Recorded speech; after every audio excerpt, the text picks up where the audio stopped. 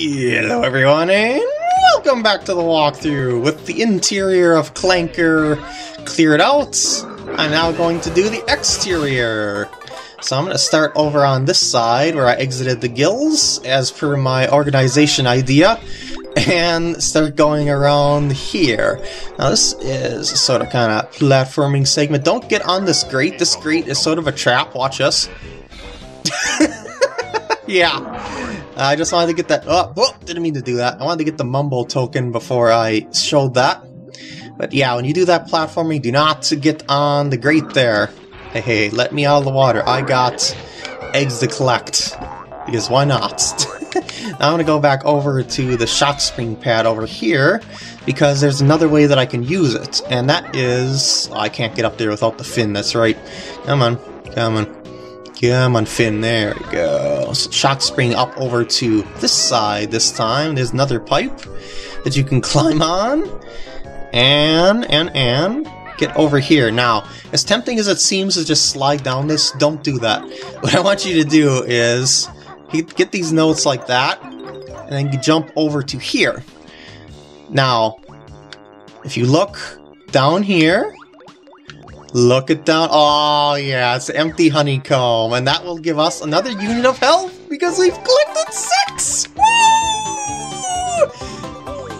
Heck yeah! Alright, now, uh, if you were curious what's inside that other pipe, I guess I'll show that too. Is just a bunch of eggs, if I recall correctly. It's uh, either that or feathers, but... Oh, no, wait, it, is it a Jinjo? Uh, hold, hold on. Yeah, it is a Jinjo. Okay, but if you slide down here, yeah, it's eggs. It's, but yeah, it's definitely want to go down here. And then if you want, you can slide down. Whee! Extra life too. but as I said before, extra lives, not really all that important. Alright, so now that we're done with that little egg kind of corner of the room, I guess you could say. I don't know if I'd even call it a corner. I I don't know what I'd call it. I'm now I'm gonna swim under here. Um, actually, I, I want to get as much air as possible for this because I don't know if this is the one that leads to a Jiggy or not. But there's one of these pathways that leads directly to a Jiggy and it's a long swim that if you don't have enough air, you'll run out and die. So don't let that happen if you can help it. Uh, let's see, which one is this one? It is, it is, it is, it is... Oh, I'm back at the beginning. Great.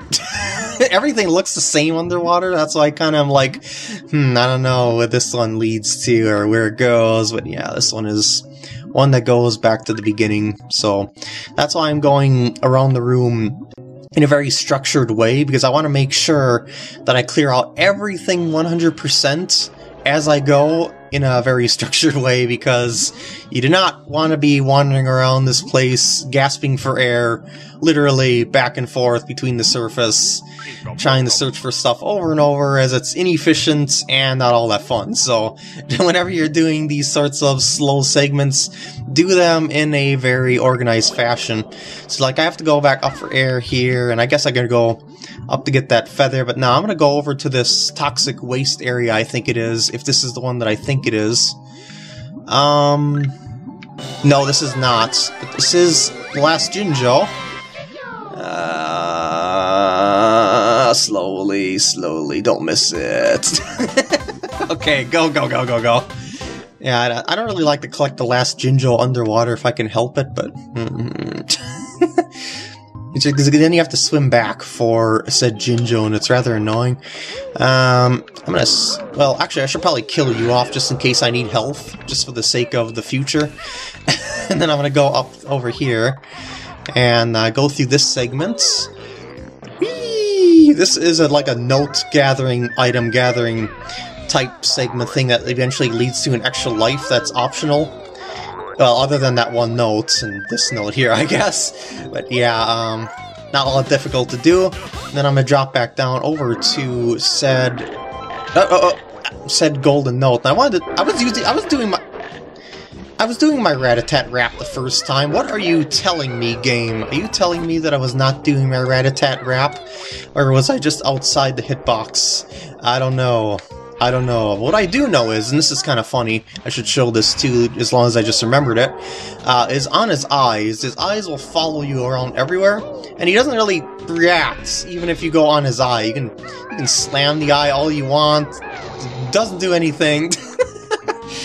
um, now what I'm going to do here, because it's a little bit easier to do this from above, is start by going up his tail on this side of the room, because remember I did that other edge just a bit ago, and very, very carefully go up the- oh, up the tail fin. I mean very carefully. It's very easy to fall off of this.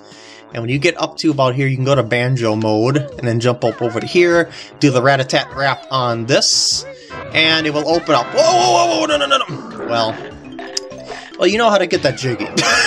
so I might as well drop down over to here to get these notes now that I'm here. Um, yeah, the thing about it is that I wanted to get the jiggy, then drop down to here, because it's just easier to get to here from up there. But I failed in my quest to do that in an efficient way, so I'm gonna have to run up its tail once again. So, so much sad. So, so much sad, because yeah, I can't actually get up on its tail. I actually have to go up along its body here until I reach the fin, and then I gotta get... Come on, let's flap flip over here. Alright, Talon Trot back up here. And there's a couple of more underwater things to see. Uh, two Jiggies in specific. And there we go. There we go. Heck yeah, baby. Woo! Alright, now I can hop off of here officially. And now here is the toxic area that I was talking about. It's not actually toxic to you, despite how it looks, including the toxic water, which I thought was actually dangerous when I first played through the game, but actually isn't. Yeah, this toxic water here, um, these are snippet mutants, also known as mutie snippets. And, uh, yeah, they want to battle me. They're basically just like regular old snippets. Not dangerous at all if you do your beak bombs, so yeah. Come in here, get the notes, kill the snippets, get out of here. uh, oh yeah, there's also a little little giblet, a little giblet of stuff up over here on this pipe if you want to take a look-see up here. Yeah, it's just a little sort of kind of lighting area type thing, and I'm gonna try and oh, I failed to slam on you. Hey, come over here. There we go. Woo! Once you kill them all, I believe a Jiggy will appear up onto the top. Yeah. I thought there was something else maybe to see up there. That's why I went up there early, but eh, guess not. And there's all the notes. I hope you got them all, because you do not want to do this all over again. This is such a slow world in some aspects. Alright, there we go. Yeah! And unfortunately, the last Jiggy I'm going to be collecting, I guess, is going to be underwater. Why I say unfortunately is because we are going to be missing out on the super special victory animation for getting all 10 Jiggies. But I guess it just ended up being the last set of pipes that I am going through here. So yeah, where is that? It's this one right here. Yep, I recognize it because there's a grate all the way down on the other side. And that grate signals a little hint as to where this Jiggy is because you can't really get to it from the grate side. You have to swim to it all the way over from the other side. And do not miss that Jiggy for too long. And don't get yourself stuck either because you are going to drown on your way out. Which actually reminds me, hold on a sec. Hold on a sec. Have I... I did 100% this, so you know what? You know what's faster getting out here than, uh, than actually swimming back to the entrance? Because, you know, I, normally I'd have to go all the way back to that, that pad, from, and then I have to do some jumps and flapping. So, you know what I'm gonna do? I'm gonna, I'm gonna drown myself here. How does that sound? You'll be able to see the drowning animation as well as one death I guess you could say to add to the totals, because everything is 100% it anyway. And there we go, there's your drowning death animation for the walkthrough. Because I wouldn't have died there otherwise. Best note score is perfect! You don't have to tell me. so yeah, um, otherwise, if you don't want to die, uh, for some reason, to get back to that pad, you actually have to go Eh, I guess I'll show you just because. You actually have to go over to this ladder here. Yeah, remember this part over here? Yeah, you go up around here. Then you go kill off these duders all over again as you go around here. Oh, no! That was like a double hit! A double fail! so yeah, okay, as I was saying, you go up around here, and th this pipe, I should say this way, leads to... I failed on my timing again. I'm gonna end up just ending up going back over to the starting pad just by sheer death. Because I'm failing this so badly. Well, it's mainly because I'm in a hurry, because I should be shifting the camera around. Yeah, there we go. So, yeah, basically you go here and up around here, and then you jump into that pipe there, which is kind of tricky. You can also do it from the other side, but I find the ladder uh, way is a lot faster to do that. Let's see if I can get inside that. If not, I'm gonna kill myself in the game. Yeah, there we go. Alright, so there we go. And remember, I've already got World 4 unlocked, so I don't have to do the whole rigmarole here. So, you know, yeah, use that at, go back to part 4 if you don't know how to do that rigmarole. As for now, I'm going to go back over to, remember the main room segment here that led to a couple of branches. I'm going back over there to bash in Grunty's eyes. Literally? Well, okay, maybe not literally. Just the eyes on her floor here. Because remember we hit in part 5 the witch switch? Yep. Beak bomb those suckers. And you'll get yourself a Jiggy. Heck yeah! Alright, now I am gonna start my trek, I guess you could say, to set up stuff. So, what I'm gonna do is go up here and open up this note door, because this is a whole other wing we haven't yet seen. So we can finally leave this, because we have more than enough notes. And uh, there's a chump fish in the water here, so look out for that. So look out for that. Also look out for the incredibly easy enemy that I am failing to defeat. Yeah, they, they kind of track you and whatnot, so don't go in the water if you can help it. I'm gonna go up here just because I know that there is that there and whatnot. Uh, but as for the actual other thingamajigger up there, I'm gonna leave that for for a little bit later on. I can show you what's up there, I guess. It's another note door, but that is for how am I managing to fail so badly? but yeah, there's another note door up there. And behind here is, is, is, yep, Brentilda. And she's gonna give us a couple more fun facts.